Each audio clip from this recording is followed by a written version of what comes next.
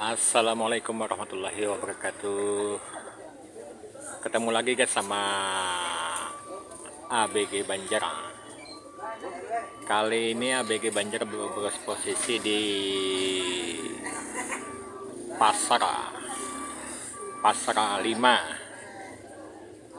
Nah Kenapa ini jadi nama Pasar 5 nggak tahu guys. Mungkin karena ini lengkap semuanya kalau sebelah sini di depan kita ini khusus rempah-rempah guys. Khusus rempah-rempah seperti bawang putih bawang merah lombok kering. Ya rempah-rempah lah gitu kacang-kacangan. Nah kalau ke tengah sini guys gula guys. Gula tepung kerupuk. Nah, kalau ke sana lagi agak agak ke sana itu itu seperti ikan asin. Sana aku kuburannya. Nah, ini teman semua, guys. Hmm.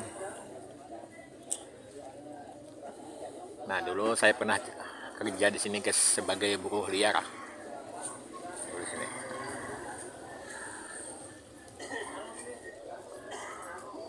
Nah dulu satu karung begitu guys dulu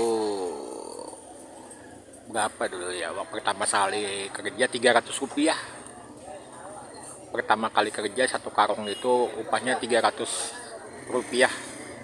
Sekarang udah tahu nih katanya ada yang 2500 ada yang 2000 katanya ada yang 3000 yang mana yang nggak tahu juga nih. Cuma dulu waktu saya kerja masih upah itu 300 rupiah guys nah guys. Jadi mungkin itu ya dinamain jadi lengkap ya. Ini satu blok satu gedung ini lain-lain guys isinya. Nah satu gedung ini lain-lain isinya. Jadi sampai ke sana ke ujung sana ya lumayan jauh guys. Oke jangan ke mana-mana ikuti terus kita keliling-keliling di pasar 5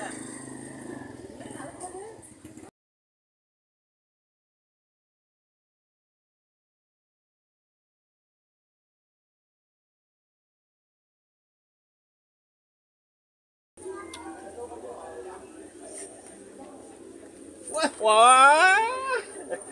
Gak yo.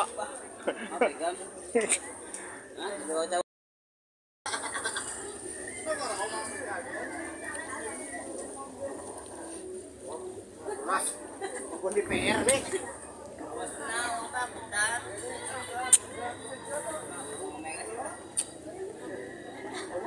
pasar.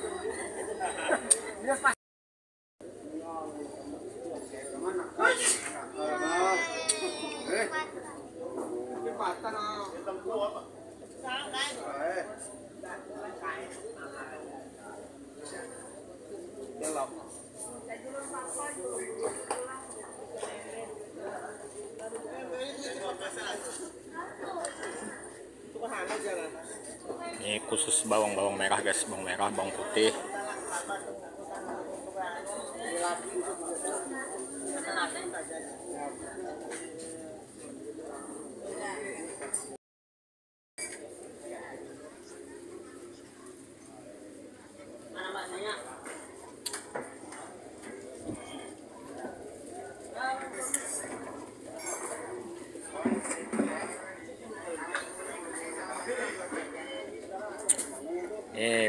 Guys tapi ini bukan minyak kelapa sawit ya guys. Ini minyak kelapa dari kelapa. Ya. Hmm. awas awas melihat lah jadi kita ngeplok hari ini kayaknya kurang konsentrasi guys. Hubungannya saya pernah jadi buruh di sini. Jadi satu dua tiga sampai hampir semua orang yang lewat menyapa nah jadi mereka masih ingat karena ciri khas saya ini sangat mudah dikenali guys. Ada kacamata tebal. Jadi sangat mudah dikenali oleh teman-teman lama yang kerja di pasar 5 ini. Jadi itu yang mengeplok ada ngajak ngomong. Ngeplok aja ada ngajak ngomong jadi ngeploknya kurang kurang konsentrasi lah. Nah dulu saya kalau habis kerja jam 12 siang makan di sini guys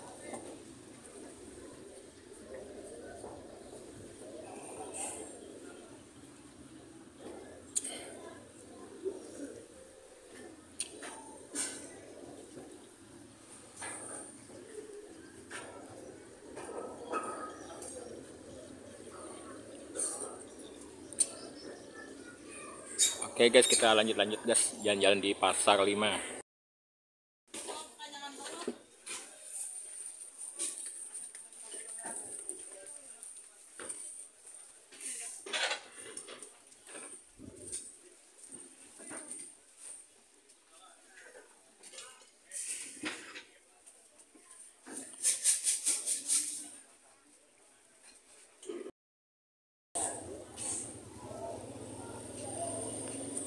Nah kalau sini alat kebutuhan kelistrikan tukang guys. Seperti bor ataupun dinamo ataupun pompa air khusus wilayah sini guys.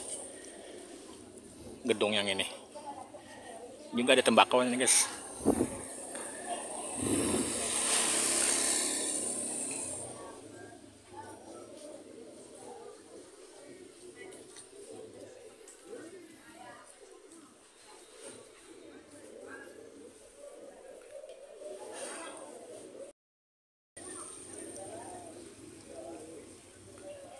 Nah dulu guys saya pernah tidur di atas ini guys sama almarhum nenek saya, almarhum bapak saya pernah tidur di atas ini.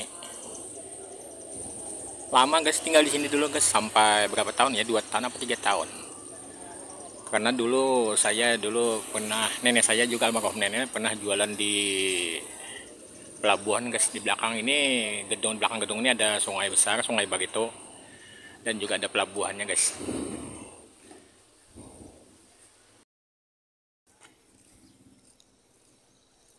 Nah ini pelabuhan guys. Tapi dulu pelabuhannya bukan begini ya guys. Dulu terbuat dari kayu ulin. Nah ini kayaknya kapal ini menuju ke Hulu Sungai Selatan atau Negara. Kabupaten Hulu Sungai Selatan Negara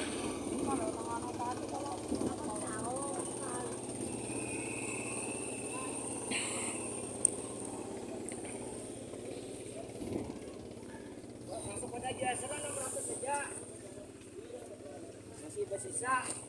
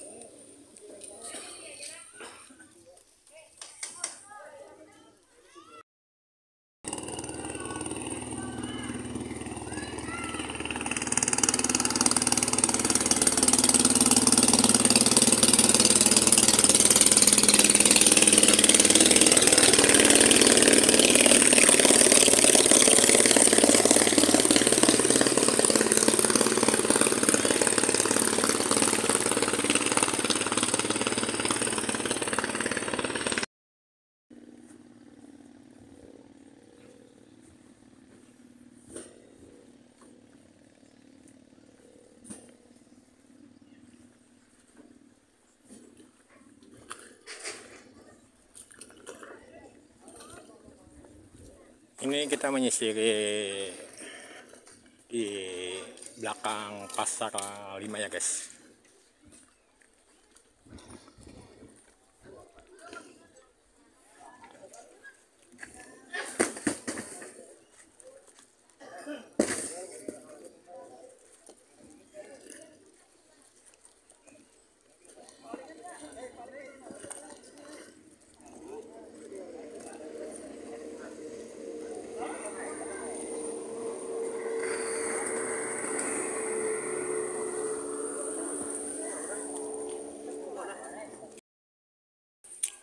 ini pasar sepeda guys.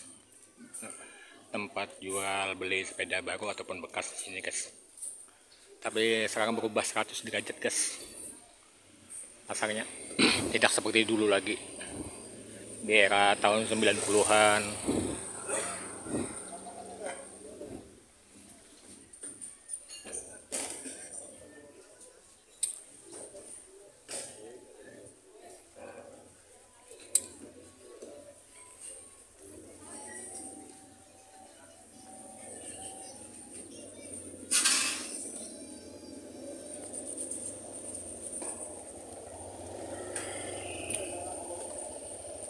Nah guys, di belakang pendekoan Oh deko sepeda menjadi baru, sepeda lama jadi baru bisa sana guys. Tapi memang berubah 100 derajat ya guys.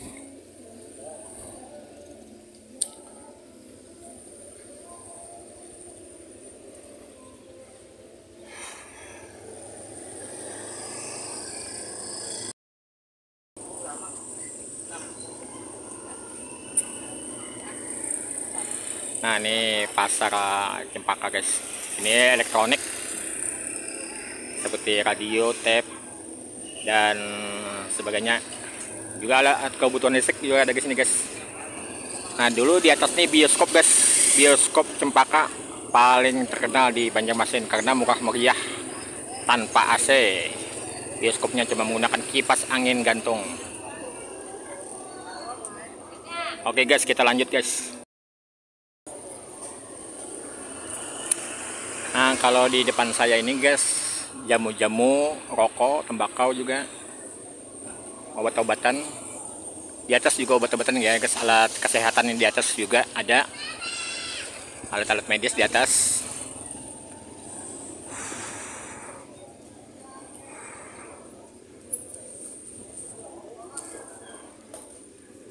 Oke guys, kayaknya kita akhir aja video kita kali ini sehubungan. Banyak teman yang mau ngajak ngobrol. Jika suka video ini like yang kepingin komen di kolom komentar. Assalamualaikum warahmatullahi wabarakatuh